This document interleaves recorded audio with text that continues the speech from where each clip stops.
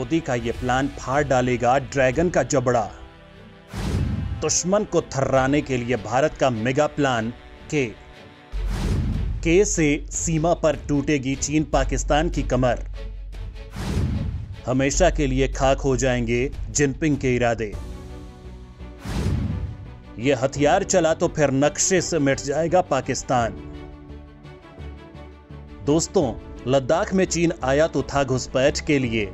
लेकिन अब मोदी ने अपनी पूरी की पूरी वॉर प्लानिंग को चीन पर शिफ्ट कर दिया है। और नतीजा तो आप देख ही चुके हैं। उत्तराखंड में चीन की सेना सीमा के अंदर घुसी तो ज़रूर, लेकिन भारतीय सेना को देखते ही दुम दबाकर भाग गई। तो दूसरी ओर अरुणाचल प्रदेश बॉर्डर में जिनपिंग के चूजे घुसे ही थे कि भारत ने उनको पटक पटक कर धोया। अब हिम्मत ही जवाब दे चुकी है लेकिन चीन के इस दुस्साहस से अब मोदी रौद्र अवतार में दिख रहे हैं। एक तो मोदी ने जापान से लेकर अमेरिका के साथ तगड़ी वॉर प्लानिंग सेट कर ली है तो चीन का जबड़ा फाड़ने के लिए उसके ही मांद के नीचे महाविनाशक हथियारों का जखीरा तैनात करने का मूड बना लिया है, ताकि जिनपिंग की मुंडी ऊपर उठते ही उस पर हथौड़ा चलाया जा सके। इतना ही नहीं, पाकिस्तान का भी ताबीज बनाने के लिए वो प्लान तैयार हो चुका है, जो एलओसी पर कब्र खोद देगा। ठीक से कहें तो एक तरफ़ चीन को समंदर में डुबोने से लेकर बॉर्डर पर भस्म करने का खाका खींच चुका है। तो दिल्ली में बैठी मोदी सरकार ने हर उस प्लान को आगे बढ़ा दिया है। पाकिस्तान के भी चीथड़े उड़ा सके। दोस्तों, इसके लिए भारत के पास वैसे तो एक से बढ़कर एक ताकतवर हथियार मौजूद हैं, लेकिन मोदी ने उसी किलर कॉन्सेप्ट को हवा दे दी है जो अगर चला तो फिर न चीन पानी मांगेगा और न कोई उसे इसकी सुनामी से बचा पाएगा। क्योंकि दोस्तों, चीन हर तरह की मिसाइलें तैनात करने में लगा है, लिहाजा भारत ने भी अपने तुरूप के पत्ते निकालने शुरू कर दिए हैं। भारत ने भी ब्रह्मोस अग्नि फाइव और के फोर मिसाइलों के बाद अब उस मिसाइल को लेकर भी ऐलान कर दिया है, जिसे आप तबाही का दूसरा नाम कह सकते हैं। यह अपने दम पर शहरों का चूरमा बना सकती है। दोस्तों, इस वीडियो में मैं आपको इसी मिसाइल की एक एक बात बताने वाला हूँ, जिससे चीन तो क्या पाकिस्तान की भी हालत पतली है, लिहाजा वीडियो बिना स्किप किए देखते रहिए। एलएसी से लेकर समंदर तक चीन का बना ताबीज। दो महाविध्वंसक मिसाइलों ने उड़ाए जिनपिंग के होश। दोस्तों, भारत अग्नि फाइव मिसाइल बना चुका है। कुछ दिन पहले इसका फाइनल टेस्ट भी होने वाला था, लेकिन उसे रोककर आकाश प्राइम सिस्टम का टेस्ट किया गया, जो इसराइल के आयरन डोम की तरह काम करता है। यह भारत के ऊपर आने वाली हर आफत को खाक करने का मादा रखता है, लेकिन दोस्तों इसी के साथ भारत एक और बड़ी तैयारी कर चुका है, जिसका नाम है महाविध्वंसक के फाइव और के सिक्स मिसाइल। दोस्तों, मैं आपको इन दो मिसाइलों के बारे में एक एक बात बताने वाला हूँ, लेकिन उससे पहले आपको बता देता हूँ कि इस किलर सीरीज़ की मिसाइलें असल में भारत के लिए क्यों ज़रूरी हैं। तो दोस्तों, देश के पूर्व राष्ट्रपति और मिसाइल मैन के नाम से पहचाने जाने वाले doctor A P J Abdul Kalam के सम्मान में इस मिसाइल सीरीज़ का कोड नेम के रखा गया है। इनको किलर मिसाइलें कहते हैं। इन्हें न्यूक्लियर सबमरीन अरिहंत श्रेणी से लॉन्च किया जाता रहा है। इस सीरीज़ की मिसाइल का मकसद देश में थल, जल और हवा से परमाणु शक्ति वाले हथियारों के प्रक्षेपण की क्षमता हासिल करना है।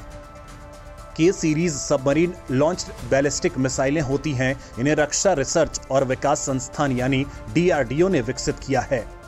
इन मिसाइलों के विकास का कार्यक्रम 1990 के दशक में शुरू हुआ था और यह भारत की उस महत्वाकांक्षा का हिस्सा था जिसमें देश को ज़मीन, समुद्र और हवा से लॉन्च की जा सकने वाली न्यूक्लियर क्षमता की मिसाइलें विकसित करना थी।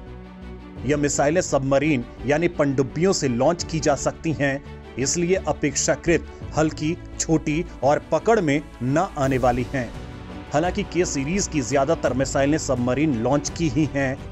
लेकिन इसके जमीनी और हवाई वेरिएंट भी डीआरडीओ ने विकसित किए हैं। दोस्तों, ये तो आप भी जानते हैं कि भारत की मिसाइलों को लेकर नीति ये है कि वह इनसे हमले की पहल नहीं करेगा। इसके बावजूद दुश्मन को जवाब देने के लिहाज से और सुरक्षा को मज़बूत करने के लिए त्रिस्तरीय न्यूक्लियर शक्ति के विकास में इन मिसाइलों का होना बेहद ज़रूरी है। Sea based under water nuclear क्षमता से लैस हमलावर मिसाइलें होने से भारत के पास परमाणु शक्ति के लिहाज से ताकत दोगुनी हो जाती है। इन मिसाइलों की अहमियत यह भी है कि ये न केवल पहले हमले में सरवाइव करती हैं, बल्कि जवाबी हमले में भी इस्तेमाल की जा सकती हैं। अरिहंत क्लास की सबमरीनों के ज़रिए ये परमाणु विस्फोटक वाली मिसाइलें लॉन्च की जा सकती हैं। चीन के साथ बढ़ते तनाव के चलते इनका महत्व और बढ़ जाता है, क्योंकि लद्दाख में चीन के साथ भारत का तनाव चल रहा है। चीन लगातार एलएसी पर खतरनाक मिसाइलें तैनात कर रहा है। लिहाजा भारत भी चीन को करारा जवाब देने के लिए अपनी घातक मिसाइलों को एलएसी पर तैनात कर रहा है। भारत ने साल 2020 में कुछ ही महीनों में दर्जनों ताकतवर मिसाइलों का टेस्ट किया तो इस साल भी एक के बाद एक खतरनाक मिसाइलों का टेस्ट कर चुका है। फिर चाहे बात आकाश प्राइम की हो, निर्भय मिसाइल की हो, रुद्र की हो, या फिर ब्रह्मोस के एडवांस्ड वर्जन की। भारत एक साथ कई भविष्य की मिसाइलें भी बनाने पर काम कर रहा है। के सीरीज़ की महा मिसाइल बनाने में जुटा डीआरडीओ। के फाइव और के सिक्स के नाम से काँप उठे चीन और पाकिस्तान। अग्नि फाइव के बाद के प्लान ने उड़ाए जिनपिंग के होश। चीन पिछले कई महीनों से भारत को गीदड़ भभकी दे रहा है, अपनी मिसाइलों और बमों से डराने की कोशिश कर रहा है, जिसके जवाब में भारत समंदर में चीन के हर इरादे को खाक करने वाली के फोर मिसाइल बना चुका है, जो परमाणु हमला करने में सक्षम है। भारत इस बैलिस्टिक मिसाइल का सफलतापूर्वक टेस्ट भी कर चुका है, जिसके बाद तो भारतीय नौसेना की ताकत अजय हो चुकी है। हालाँकि भारत के पास कम रेंज, यानी कम दूरी की के फिफ्टीन सबमरीन बैलिस्टिक मिसाइल मौजूद थी, जो 750 किलोमीटर की दूरी तक परमाणु हमला कर सकती है। लेकिन के फोर ने तूफानी ताकत दे दी है और अब तो डीआरडीओ भविष्य की मिसाइलों पर काम कर रहा है। और भविष्य के ये महाविनाशक योद्धा हैं के फाइव और के सिक्स के फाइव की रेंज 5000 किलोमीटर है, जबकि के सिक्स की रेंज 6000 किलोमीटर से ज़्यादा है। मतलब ये दोनों ही चीन के हर शहर को तबाह कर सकती हैं। वो भी समंदर के रास्ते, बहुत ही शातिराना अंदाज में, बिना किसी हलचल के और एक ही झटके में दुश्मन को घेर कर उसका काम तमाम कर देती हैं। के फाइव मिसाइल की क्षमता एक टन विस्फोटक की है मतलब एक ही झटके में पूरा पाकिस्तान साफ़ हो जाएगा। तो K six solid fuel M सक्षम मिसाइल है, जिसका मतलब यह है कि एक मिसाइल फायर होगी तो कई मिसाइलों में तब्दील हो जाएगी। के सिक्स की क्षमता दो से तीन टन विस्फोटक ले जाने की है। हालाँकि दोस्तों, भारत ने जो के फोर मिसाइल बनाई है, उसकी मारक क्षमता भी बढ़ाकर 5000 से 8000 किलोमीटर की जा रही है। ये के फोर मार्क टू मिसाइल भी चीन और पाकिस्तान के लिए किसी अदृश्य काल से कम नहीं होगी। चीन के लिए भारत की मिसाइल शक्ति एक चैलेंज है।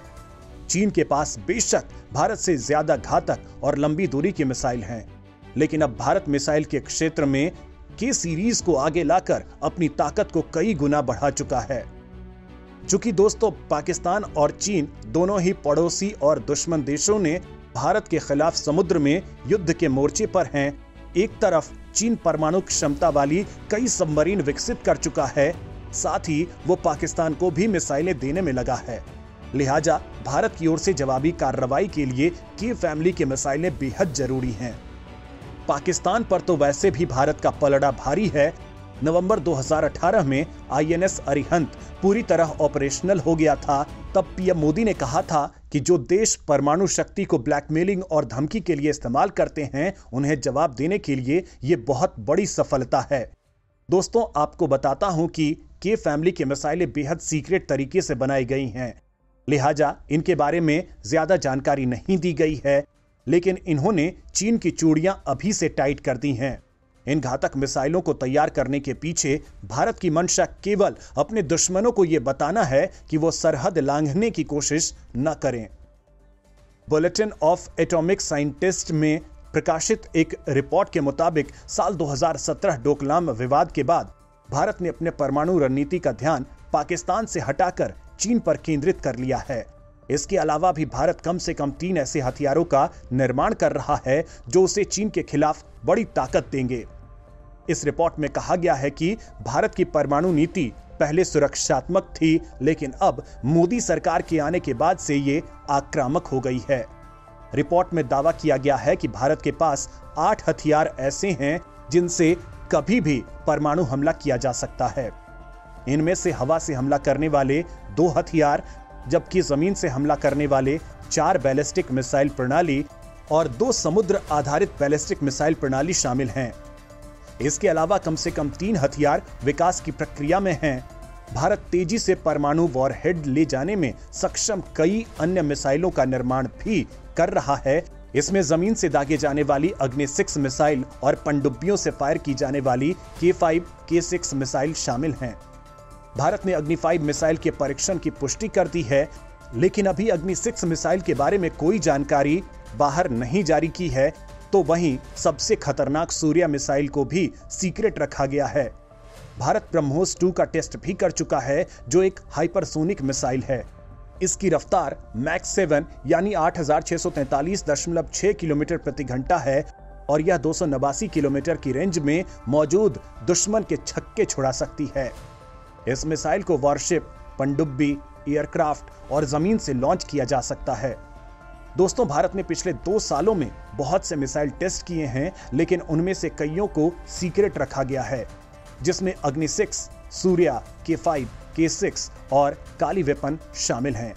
इसके पीछे की वजह यह है कि चीन और अमेरिका से लेकर यूरोपीय देश लगातार भारत पर नज़र रखे रहते हैं, क्योंकि इनमें से ज़्यादातर मिसाइल या तो भारत खुद विकसित कर रहा है या फिर रूस की मदद से, और रूस का नाम आते ही अमेरिका की सुलग जाती है और वो इस काम में अड़ंगा लगाना शुरू कर देता है। और शायद यही वजह है कि भारत अपनी के सीरीज़ और अग्नि सीरीज़ की मिसाइलों को गुपचुप तरीके से तैयार कर रहा है। वैसे इस मामले में आप क्या कुछ सोचते हैं कमेंट करके ज़रूर बताएँ।